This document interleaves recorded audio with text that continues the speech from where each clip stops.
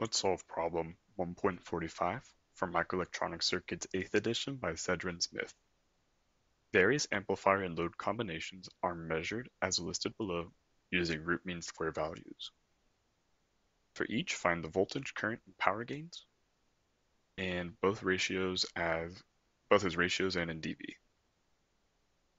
So let's start with just some formulas. So the voltage gain will be equal to the output voltage divided by the input voltage. The current gain will be input current divided by output current. Or sorry, output current divided by input current.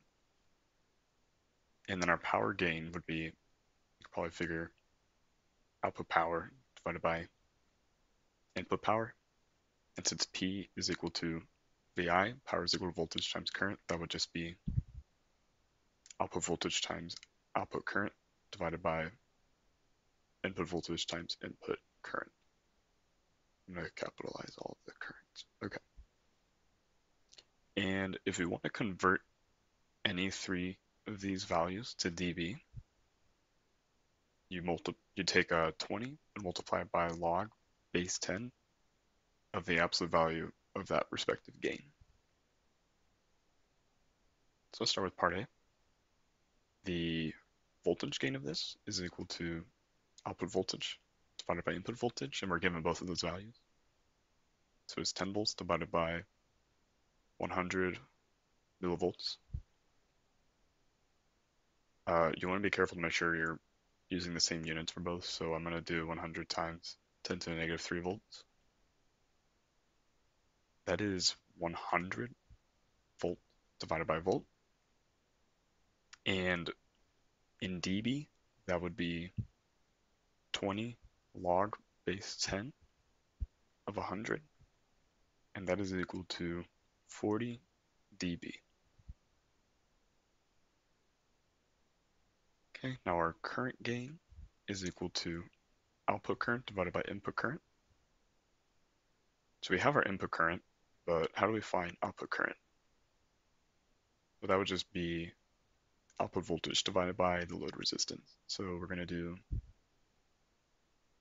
10 volts divided by 100 ohms divided by input current is 100 microamps, which I'm going to convert to amps. So that's 10 to the negative 6 amps.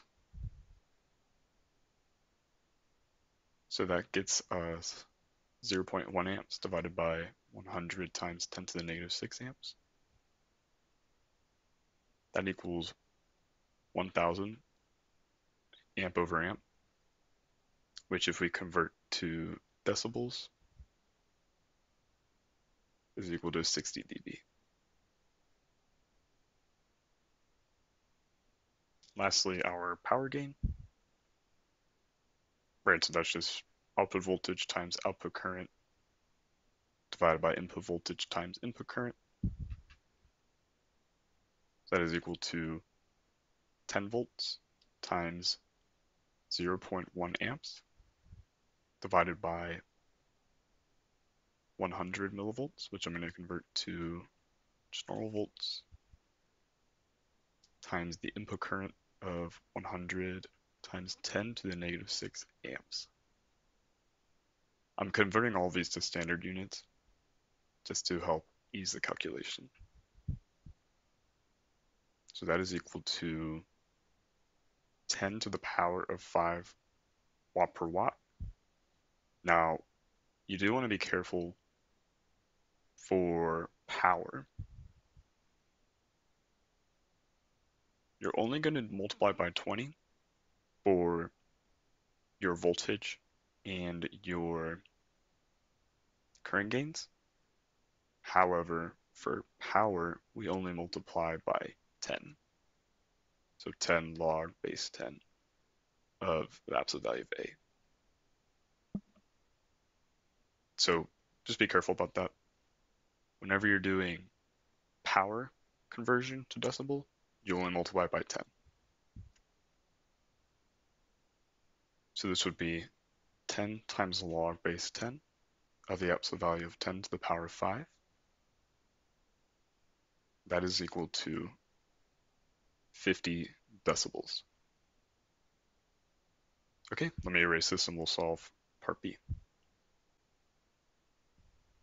Okay, let's start solving for part B. So our voltage gain is V out divided by V in.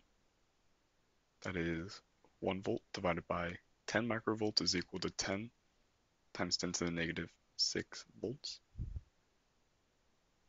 Clean that up a little. That is equal to 1 times 10 to the fifth volt per volt, or 20 log base 10 of 1 times 10 to the fifth will give us 100 decibels. Current, or yeah, current gain is equal to V out divided by RL divided by Vn. That is 1 volt, or sorry, I In. So it's 1 volt divided by 10 kilo ohms divided by 100 nanoamps. So that is equal to 0.1 milliamps divided by 100 nanoamps. So that's 0.1 times 10 to the negative 3 amps. And then nano is 10 to the power of negative 9. So 100 times 10 to the power of negative 9 amps. That is equal to 1000 ampere amp, or you can do 20 log base 10 of 1000 to get 60 decibels.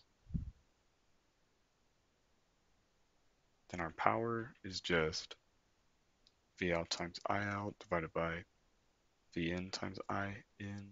That's equal to 1 volt times 0.1 times 10 to the negative 3 amps divided by 10 micro amp, microvolts 10 times 10 to the negative 6 volt times 100 nanoamps, which is 100 times 10 to the negative 9 amps. That is equal to